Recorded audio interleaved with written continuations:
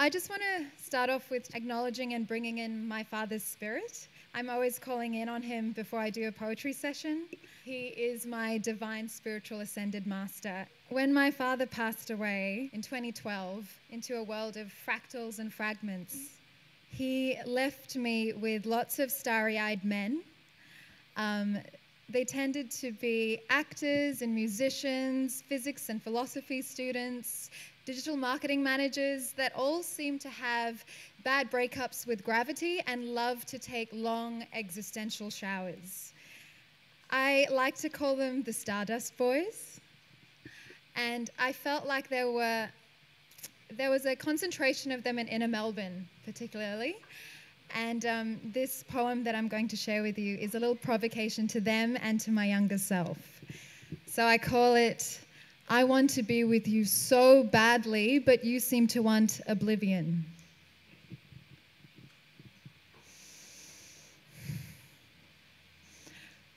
A bottle of Frangelico teeters around her telephone as she waits for that call after his shift at Club X. She's an op shop calf for his 4 a.m. playpen, dressed in cow print pajamas and baby Kahlua eyes.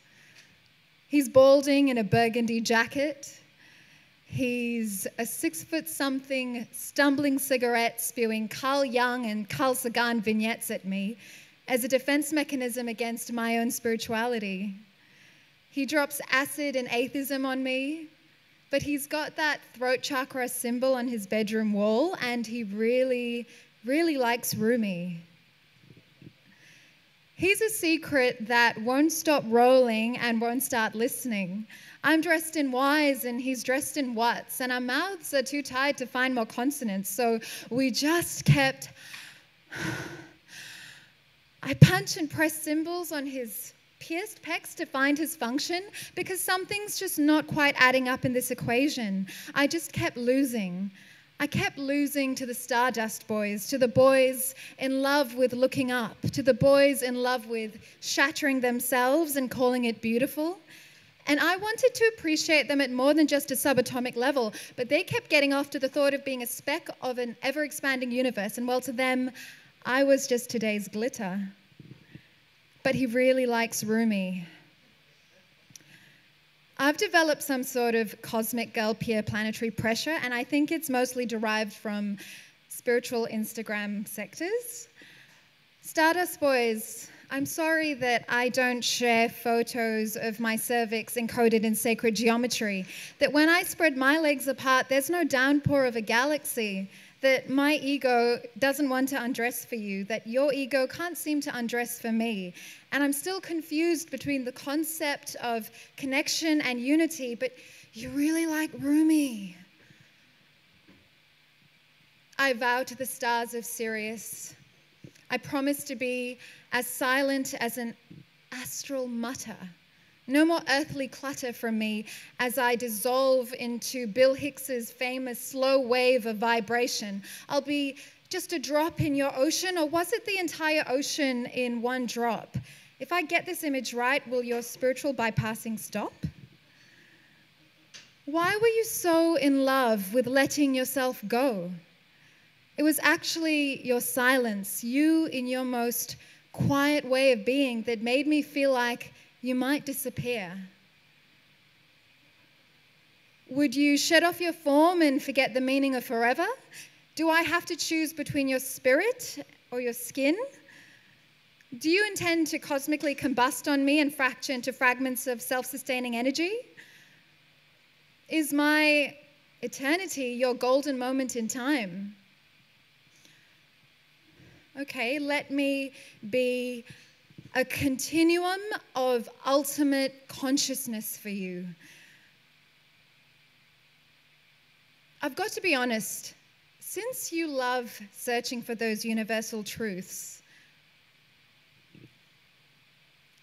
I didn't know what continuum meant, so I looked it up.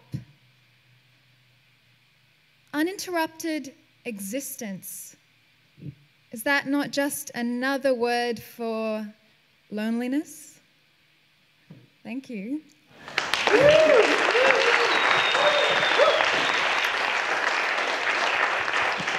So once I realized that I had this habit of dating Stardust boys, I finally decided to let them go last August in 2018. I actually wrote it down in my lunar diary let go of the Stardust boys. And I wanted to find more ways to hold myself and trust in my own inner energy. And through this moment of self discovery, I came across Elon Musk's top tips for productivity. And I don't know why it just spoke to me. And I don't remember all the tips, but the one that did stick was focus on the signal and not the noise. And I know he was referring to marketing strategies, but I thought that it, I could apply it to my own spiritual practice. And during this time, I was also seeing all those those you know auspicious number sequences everywhere. 222 333 555 88s and i wanted to see them as symbols from the universe and trust in them. And so i threw myself back into the realm of numerology and tried to find out what you know the hidden meaning of these number sequences were. And i thought what better place to start than in melbourne cbd so for instance when you find that number 101 it's suggesting that the guardian angels are around you and you just got to follow your emotions and just trust and surrender because you never know positivity and harmony might just be around the corner. And I'm really realizing now that there are way more energies of love dissolving the energies of fear, and this festival is testament to that here. And it's really lovely to know that Melbourne and the world is just getting more comfortable with words like spirituality and ascension and synchronicity and the fifth dimension. And as a girl growing up around Sufi mystic trance and sacred geometry, I feel less alone and way more terminologically free. And I do feel like there's a long awaited awakening compassion coming through, and you never know who might just drive up to you. So, this next poem is called Move the Way You Want and Find the Opportunities Around You. The space between 101 Collins and a beer garden on Flinders Lane may have brewed a reunion between a pair of twin flames. You told me you played the keys and used DJ decks to operate portals of energy. I expressed to you, I've let go and I've learned to live in a love based reality. After two months of embodying a hungry ghost down at Melbourne Theatre Company, I felt ungrounded, got ghosted myself, and now I'm kissing the earth again, finally. I confess to you, I only made the switch last Thursday, actually, and I want to see the world through more art, beauty, magic, and poetry. An hour after, we shift from your SUV to the lounge of an electric lady where we seated ourselves in seats of deep truth. Tonight, we focused on the signal and not the noise as we transited away from the tunes of Alice in Wonderland Girls and Stardust Boys. How could we rate a ride that was dissolving towards destiny as we disclosed our passion for crystals, nature, and conscious intimacy? I had an urge to share with you my special secret seraphinite. It was met with the sight of your hand holding on to a piece of hematite. I smiled as I tried to fish around for more hidden gems in my back pocket, while you pulled out from underneath your t shirt your favorite amethyst locket. With a semi precious stone in both our palms, our guts spiraled in surprise. As synchronicity steamed up our cores and recharged a new light in our eyes. Serendipity's winter stay in the city made it clear for us to see that we were always two bodies requesting to flow into the waves of one frequency how do you rate a ride that was dissolving into destiny? Five stars to Melbourne's unpredictable late night PTV. Five stars to High Priestess past lifetime babe Anna Kennedy for saying, You do you, lady. Five stars to me for saying, I want to stay in my own energy. Five stars to you for answering yes to a request from me at 11:43. The universe and Uber have one thing in common with each other. If you're open to trusting their services, I guarantee they will deliver. Thank you.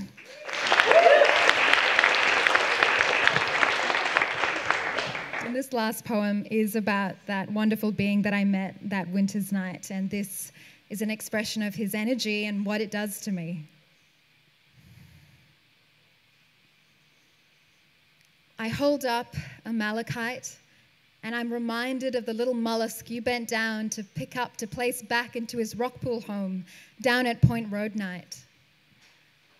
When we met, I told myself, what a blessing from the 808 Lionsgate portal, a reward for many moons of meditations and manifestations and shamanic activations, that you were going to be my initiation, a preparation towards something grander. And we were just spiritually awakened beings, light working down in St. Kilda for the day.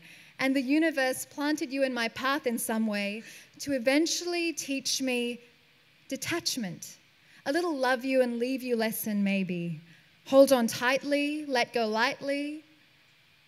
But then you take me you take me through the path of least resistance. You release and rush into my ley lines like an elixir of liquid lightning, and you're gleaming now, gallant, cleanse clear quartz transparent.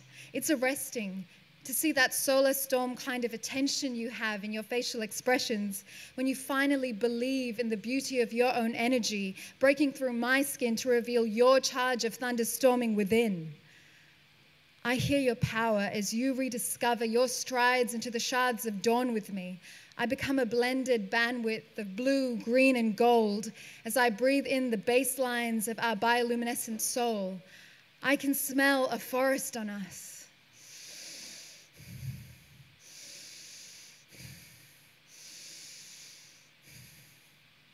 Your movements are muscular, multi-timbral invitations into a smudging of earthy synth and astral ash. Your syncopations of spirit and silence pitch bends my body to ground. Your spirit and silence activates and anchors my awareness in this sudden space of sacred sound.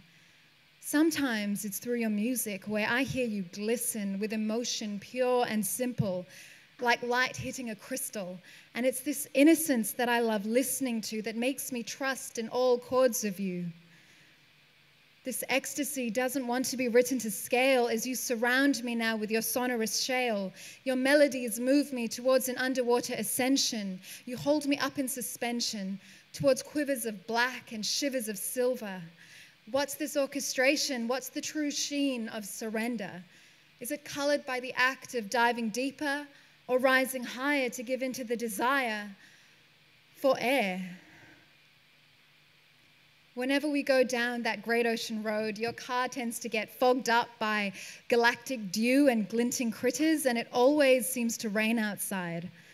I think it's so we can drive under the rib cages of rainbows and feel the stubble of the sun sinking within our diaphragms at the same time as a kyanite sky as she sings to us her most radiant open song.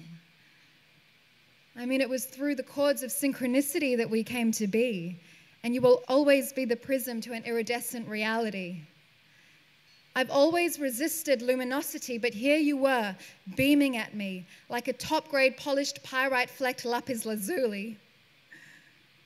I'm in love with your light because of how much you love to give your light away. I can't capture your resonance, nor would I try to portray this essence, something that I initially immediately wanted to run away from because I knew that it was made up of a song that felt closest to home, too deep to deny, too easeful to embrace. This place you may try to leave, but always return to. In truth, your light never lies to me, it only lies with. Thank you.